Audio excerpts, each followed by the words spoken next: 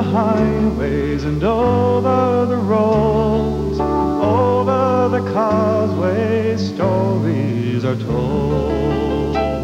They tell of the coming and the going away of the cities of America. Draw me away.